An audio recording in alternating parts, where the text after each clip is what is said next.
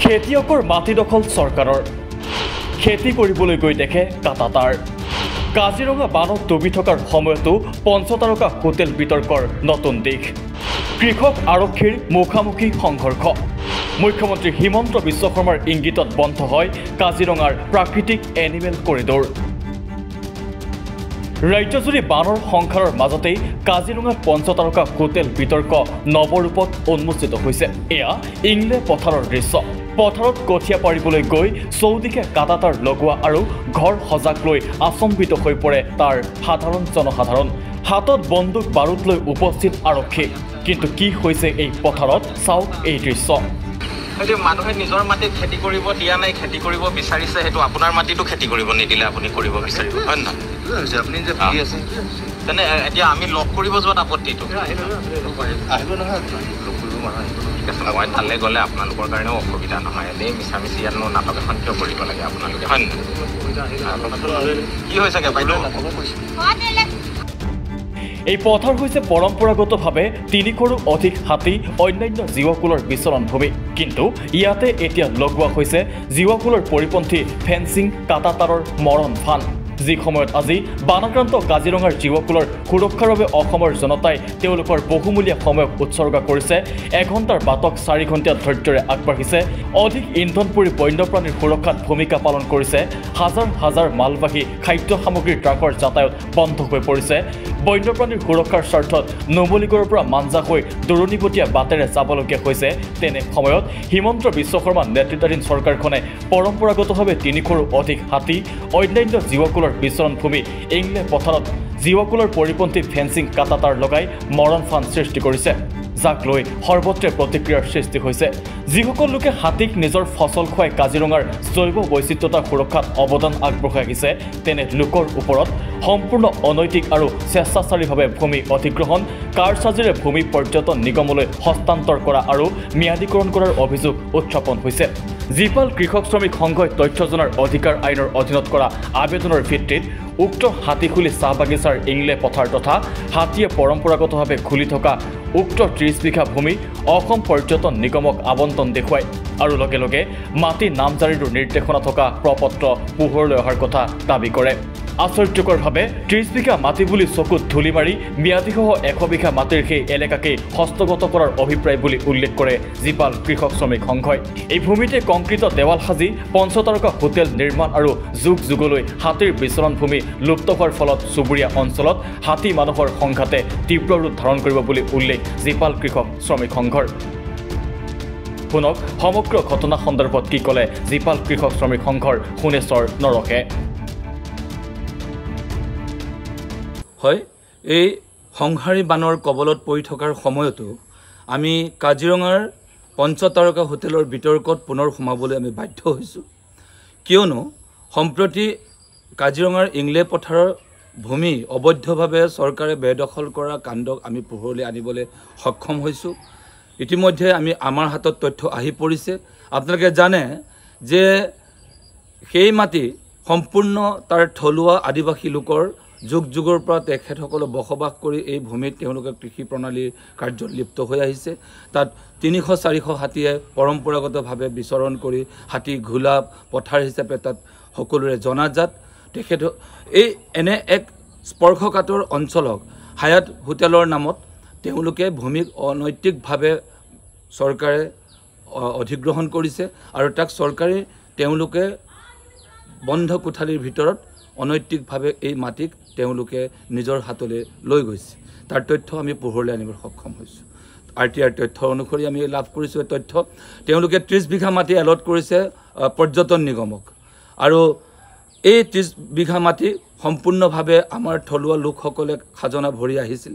কিন্তু আজিলৈকে সেইসকল লোকক আজিলৈকে ন্যায্যতা দিবলৈ তেওঁলোক প্ৰস্তুত নহয়। আটাইতকৈ ডাঙৰ কথাটো ক- হ'ল শেহতীয়াকৈ সেই অঞ্চলটোত তেওঁলোকে অনৈতিকভাৱে সেই হাতী বিচৰণস্থলীত তেওঁলোকে ফেঞ্চিং কাটাটাৰ লগাই সম্পূৰ্ণভাৱে মাটি বেৰি ধৰি বেৰি বেৰি ধৰিছে। তাৰপিছতে তেওঁলোকে অনৈতিকভাৱে তেওঁলোকে গৃহ নিৰ্মাণ কাৰ্যত লিপ্ত হৈছে আৰু ঊনৈছজনকৈ ছিকিউৰিটি দিনে ৰাতিয়ে অহৰহ তাৰ সংথৰ হিমন্ত বিশ্ব শৰ্মাৰ বিশ্বস্ত কাৰ্বি আংলঙৰ ই চিৰ এজনৰ হোটেলৰ নাম হৈছে সংথৰ সেই সংথৰত ঊনৈছজনকৈ তাৰ নিৰাপত্তাৰক্ষী তাত মোতায়েন কৰি ৰখা হৈছে। তাত কোনো লোককে তাত প্ৰৱেশ কৰিবলৈ দিয়া হোৱা নাই। তাত কোনো ধৰণৰ কেমেৰা তাত ব্যৱহাৰ কৰিবলৈ দিয়া নাই। আৰু তেনে এক পৰিস্থিতিৰ মাজতে আমি মোকাবিলা কৰি আমি জি পি এছ কেমেৰাৰে আমি সেই স্থানৰ ফটো সংগ্ৰহ কৰিবলৈ আমি কথমপি আমি তাৰ পৰা ওলাই আহিছোঁ। তাৰোপৰিও শেহতীয়া কাণ্ড এটা উদ্ঘাটন হৈছে যে পৰহি আমাৰ থলুৱা ৰাইজে পৰম্পৰাগতভাৱে সেই স্থানত খেতি কৰিবৰ কাৰণে কঠীয়া পাৰিবৰ কাৰণে তেওঁলোক সমদল কৰি যেতিয়া কঠীয়া পাৰিব আহিছিল দেখ- দেখা পাইছিল তাত ফেঞ্চিং তৰি থৈছিল অনৈতিকভাৱে সেই ফেঞ্চিং ৰাইজে তাত সম্পূৰ্ণ ফেঞ্চিং উঘালি ৰাইজে কঠীয়া পাৰিবৰ কাৰণে তাত মাটিখিনি কৰ্ষণ কৰাৰ কাৰণে প্ৰচেষ্টা চলোৱাৰ সময়তে তাত আৰক্ষী মোতায়েন কৰি ৰখা আৰক্ষী নিৰাপত্তাৰক্ষীয়ে সেইসকল আমাৰ থলুৱা লোকৰ লগত মুখামুখি সংঘৰ্ষত লিপ্ত হৈছে। আমাৰ জনসন জনগণে বীৰত্বপূৰ্ণভাৱে সেই প্ৰতিৰোধ সংগ্ৰাম গঢ়ি তুলিছে থলুৱা আদিবাসী লোকসকলে। আটাইতকৈ ডাঙৰ কথাটো হ'ল তেনে এক কাণ্ডৰ পুনৰাবৃত্তি কালি সংঘটিত হৈছিল কাজিৰঙাৰ সেই একে স্থানতে। তেনেকুৱা এক পৰিস্থিতিৰ খবৰ লাভ কৰি আমাৰ ৰাজহুৱা কৰ্মী প্ৰণৱ দলেও এই পৰিদৰ্শন কৰিবলৈ যাওঁতে আৰক্ষীয়ে অনৈতিকভাৱে অবৈধভাৱে অসাংবিধানিকভাৱে তেওঁক বাধাপ্ৰাপ্ত কৰিছে। আমি কৈছোঁ যে পৃথিৱীৰ সকলো ধৰণৰ মানৱ দৰদী মানৱতা কৰ্মী মানৱতাবাদী লোকে যিকোনো বিনিময়ত এনেকুৱা ধৰণৰ মানৱীয় উলংঘা কৰা কাৰ্যকলাপত পৰিদৰ্শন কৰিব পাৰে যাব পাৰে তাত মাত মাতিব পাৰে।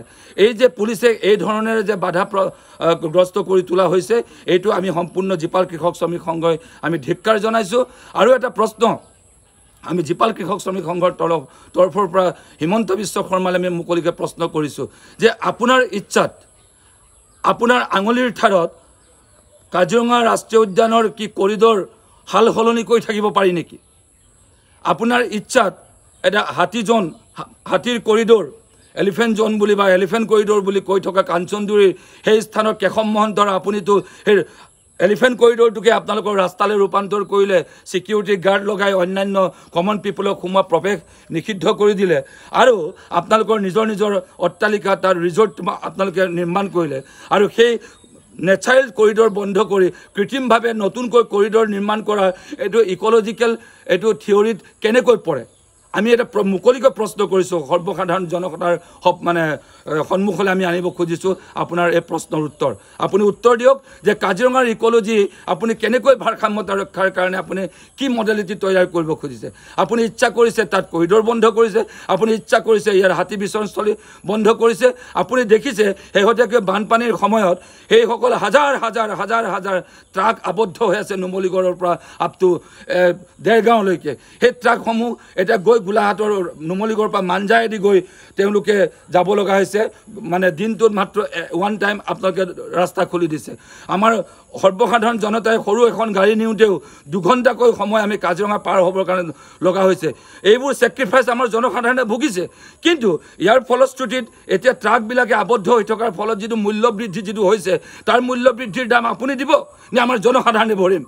আপুনি চাওক জনসাধাৰণে কিমান ছেক্ৰিফাইচ কৰিছে। যে দুঘণ্টা সময় এই কাজিৰঙাখন পাৰ হ'বৰ কাৰণে বন্য জন্তুৰ প্ৰতি দৰদী হোৱাৰ কাৰণেই সৰ্বসাধাৰণ জনগণে আপোনালোকৰ এই ফৰেষ্ট ডিপাৰ্টমেণ্টৰ এই ইনষ্ট্ৰাকশ্যনটো সকলোৱে মানি লৈ চলিছে। কোনো অমান্য কৰা নাই। তাৰ পাছত আমি মৰ্মাহত হৈছোঁ। বহুত বন্য জন্তু বানপানীত এবাৰ মৃত্যুবৰণ কৰিছে। অভিলেখ সংখ্যক মানে বন্য জন্তু সেইটো আমি মৰ্মাহত হৈছোঁ। জীপাল কৃষক শ্ৰমিক সংঘ আৰু প্ৰকৃতি প্ৰেম মানে হৰিণা এটা ধৰি সাপ এটা ধৰি ফটো ছেশ্যন মাৰি পেলাই এই ফৰেষ্ট ডিপাৰ্টমেণ্টক ৰেস্কিউ গতাই দিলেই প্ৰ- প্ৰকৃতি প্ৰেম নুবুজায়। আপোনালোকে তেনেকুৱা ধৰণৰ নেৰেটিভ সৃষ্টি নকৰিব যে আমি কেনেকৈ প্ৰকৃতি প্ৰেমক আমি ছাপৰ্ট দি আছোঁ আমাৰ কাৰ্যকলাপক বিজ্ঞানসন্মতভাৱে অনুধাৱন কৰক।